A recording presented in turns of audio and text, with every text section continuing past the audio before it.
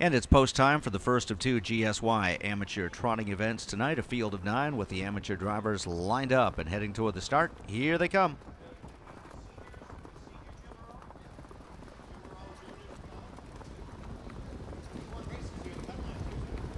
And they're off.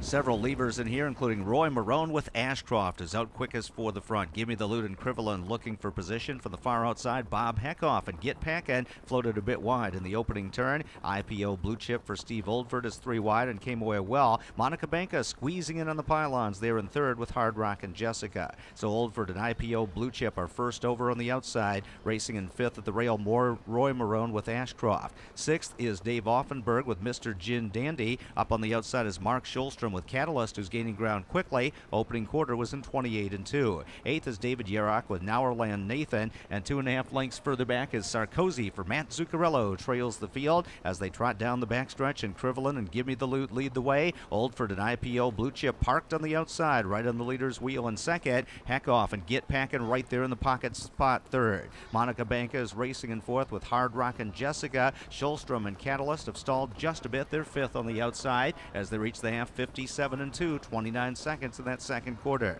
Further back, racing in sixth at the rails, Ashcroft for Roy Marone. Dave Offenberg trying to get rolling with Mr. Jim Dandy now moving up into the sixth spot on the outside. Also trying to catch cover is David Yerrock and Nauerland Nathan. And far behind, a Matt Zuccarello and Sarkozy who trails the field as they head around the far turn. And Crivelin and Gimme the Loot have them stacked up on the front end. Tough trip for Oldford and IPO Blue Chip. Dave Offenberg three wide and coming on with Mr. Jim Dandy on the outside as they they reach three quarters in 127 and 4, and the field comes to the top of the stretch. Crivelin is going to work on Give Me the Loot. IPO Blue Chip and Oldford trying to hang in there first over. Dave Offenberg still closing in with Mr. Jim Dandy. Heckoff trying to come up the rail with Get Packin. It's Dave Offenberg and Mr. Jim Dandy on the outside to the lead. IPO Blue Chip and Oldford between horses. Monica Banca in tight quarters with Hardrockenjessica. Dave Offenberg, Mr. Jim Dandy to win it. Monica Banca with Hardrockenjessica was second. Steve Oldford and IPO Blue Chip third. Crivelin and Gimme the Loot fourth and 157 and 4.